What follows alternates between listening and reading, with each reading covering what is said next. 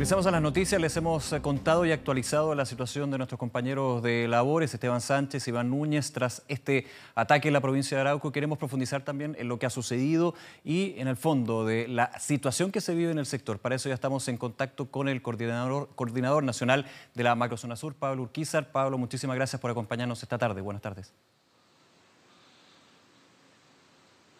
Eh, muy buenas tardes, Nicolás. Muy buenas tardes, Pamela. Me encuentro aquí en la Intendencia.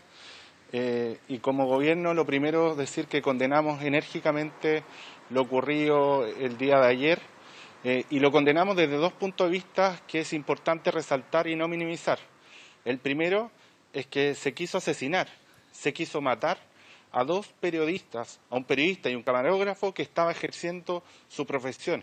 Y en segundo lugar, no solo querer matar, sino también afectar gravemente y de un modo extremo la libertad de expresión, el ejercicio libre de la prensa y la libertad de prensa. Y desde esa perspectiva, como gobierno, hemos dispuesto tres medidas efectivas. La primera, desde la perspectiva de la persecución penal. Hablé con el fiscal Yáñez, me comuniqué también con la Policía de Investigaciones y nos vamos a querellar y esa querella va a ser por homicidio frustrado y además por afectación grave de la libertad de expresión. Por lo tanto, también se sumaría a la querella que también dispuso Televisión Nacional. En segundo lugar, desde la perspectiva preventiva en la zona, en la ruta P60, la ruta P72, vamos a intensificar aún más y vamos a redoblar los patrullajes y los controles desde la perspectiva de las Fuerzas Armadas y también de carabineros. Y en tercer lugar, un aspecto no menor que es que esto hecho no se puede minimizar. Aquí se debe condenar por parte de toda la clase política, sin matices, lo que está ocurriendo. Hoy, ayer le ocurrió a un periodista y a un camarógrafo. El día anterior le ocurrió a carabineros.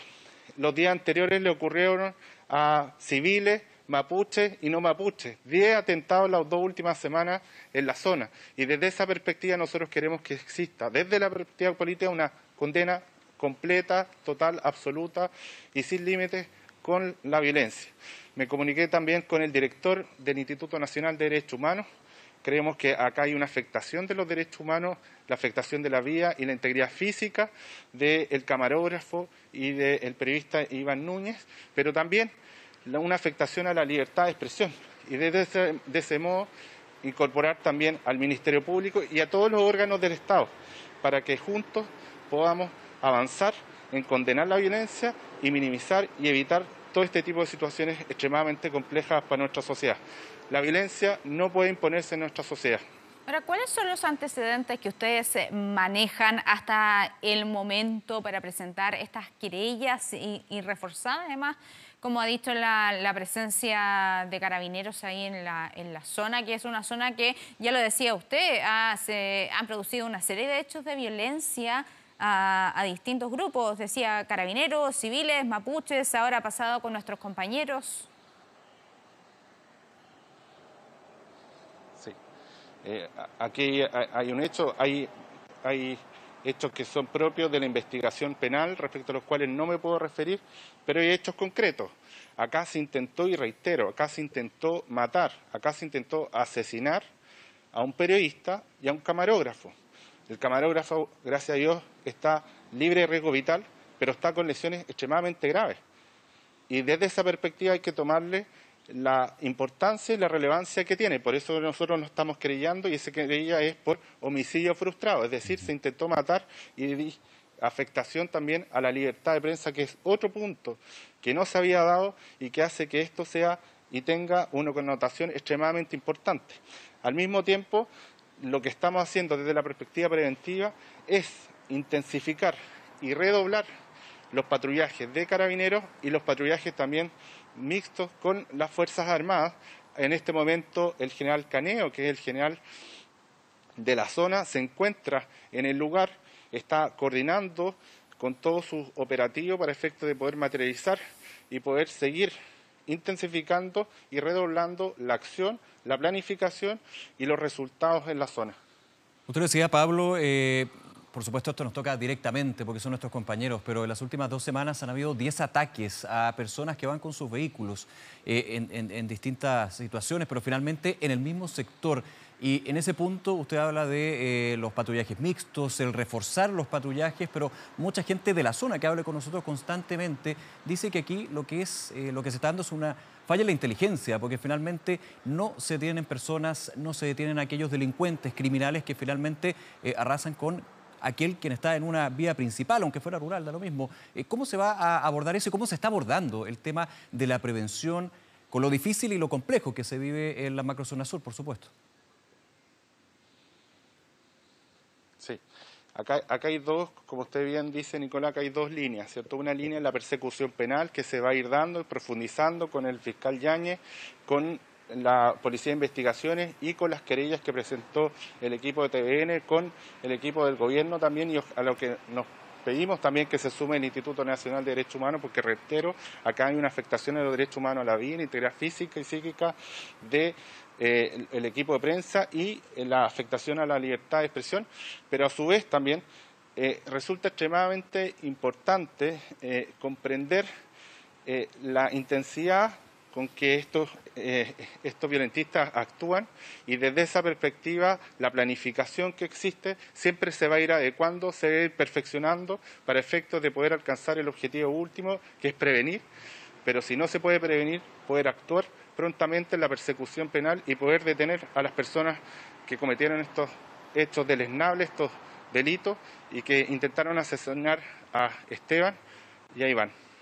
Sí, eh, Pablo, a propósito de, lo que dice usted, que eh, usted lo dice claramente, intentaron asesinar a nuestros compañeros, eh, pero también hace hincapié en todo lo que ha ocurrido durante los últimos días. ¿Tenía que pasar esto para que usted diga que se va a reforzar la presencia de vigilancia en esa zona? Porque hablamos de hechos de violencia generalizados.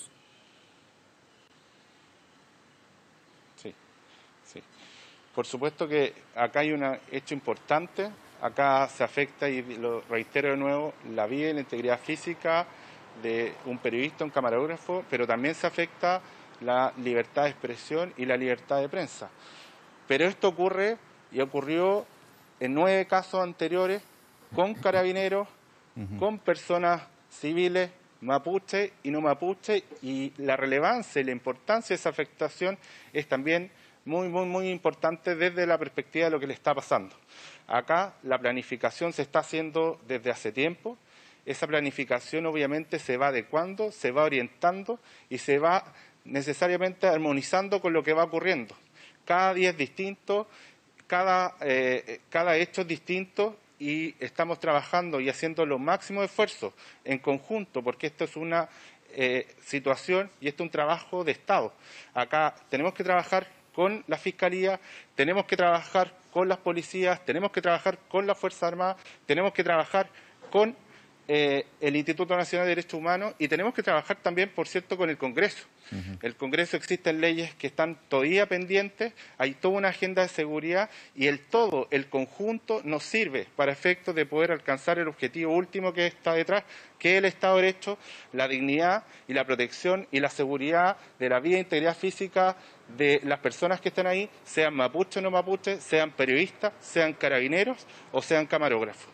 Detrás de eso estamos trabajando full y estamos haciendo todos los esfuerzos para poder alcanzar ese objetivo. Pablo Urquizar, eh, desde parlamentarios de la zona, también distintos gremios, eh, organismos, organizaciones sociales, eh, se ha llamado a, de alguna manera, implantar medidas más creativas, a hacer algo distinto, porque finalmente la intensidad de los hechos de violencia en la macrozona sur, recordemos, en la macrozona sur, ha ido en aumento y eso se hace bastante evidente con por ejemplo, lo último que ha pasado, el ataque a matar hacia nuestros compañeros Esteban Sánchez e Iván Núñez. Eh, se busca desde eh, la coordinación en la macrozona sur llegar a este tipo de nuevas medidas o finalmente lo que dicho el gobierno, lo que ha dicho el gobierno, hay proyectos de ley en el Congreso, pero desde algunos sectores esa, esa es una parte. La ley de control de armas se aplica a todo nivel nacional, pero lo que sucede en la zona es algo que hasta ahora el Estado no ha podido abordar.